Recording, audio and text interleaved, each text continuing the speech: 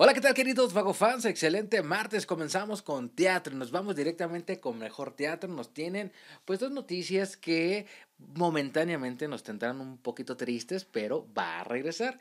Dos puestas en escena bajan el telón de forma momentánea. Estamos hablando, por supuesto, de dos locas de Armate y defendiendo al cavernícola. Así que estas exitosas temporadas dicen un alto momentáneo, y es que por naturaleza las temporadas teatrales inician, viven y terminan. En este caso es una pausa. ¿Cuándo será esto?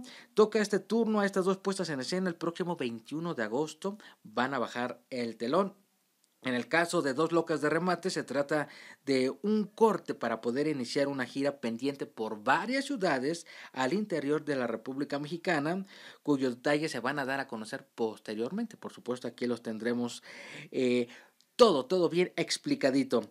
Así que Dos Locas de Remate, viernes 19 a las 19 21 a 15 horas, el sábado 20 a las 18 y 20 30 horas y el domingo 21 a las 18 horas. En el caso de Defendiendo al Cavernícola se trata también de una pausa por los preparativos del montaje Los Guajolotes Salvajes que se va a estrenar el próximo 12 de septiembre. Por ahí Morris Gilbert ya nos compartía parte del escenario, cómo se iba construyendo en redes sociales. Así que antes de que Poncho Vera deje momentáneamente la cueva del cavernícola, se puede disfrutar el próximo sábado 20 a las 19 horas y el domingo 21 a las 17 horas.